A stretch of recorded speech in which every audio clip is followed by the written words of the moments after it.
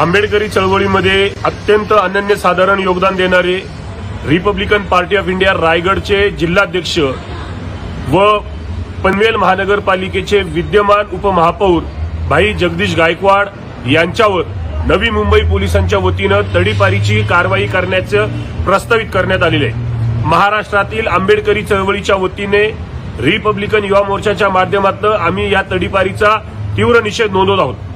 विद्यमान उपमहापौरावर तडीपारीची कारवाई करणं हे अत्यंत लज्जास्पद निंदनीय व बेकायदेशीर आहे.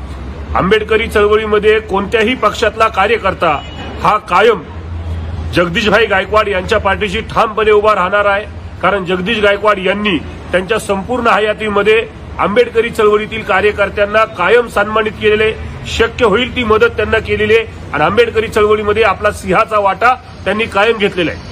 आज गेली अनेक वर्ष लोकप्रतिनिधी असणारे जगदीश गायकवाड यांची तडीपारी ही केवळ राजकीय सोडापोटीच होत आहे असं आमचं ठामपणे मत आहे.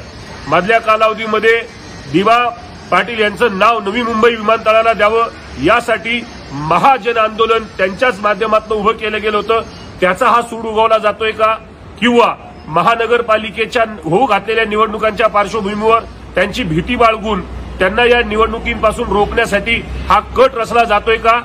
या संदर्भामध्ये आम्ही याची पूर्णपणे चाचपणी केलेली आहे आणि त्यातून केवळ आणि केवळ जगदीश गायकवाड यांचं राजकीय प्रस्त वाढतंय ते आंबेडकरी चळवळीचा आवाज बुलंद करतायत आणि ते रोखण्यासाठीचा षडयंत्राचा भाग म्हणून पोलीस यंत्रणेचा दुरुपयोग करून गैरवापर करून सत्ताधारी लोक हे जगदीश गायकवाड यांची तडीपारी करण्याचा प्रयत्न करताय. त्याचा आम्ही तीव्र निषेध करतो.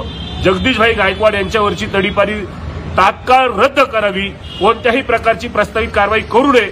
त्यांचा जो काही आव्हान सुरू आहे तडीपारीच्या मा- नावाखाली तो तात्काळ थांबवावा अशी विनंती नवी मुंबईचे पोलीस आयुक्त राज्याचे नव्यानं नियुक्त झालेले पोलीस महासंचालक आणि गृहमंत्री मुख्यमंत्री यांच्याकडे रिपब्लिकन युवा मोर्चाच्या माध्यमातून करण्यात येत आहे.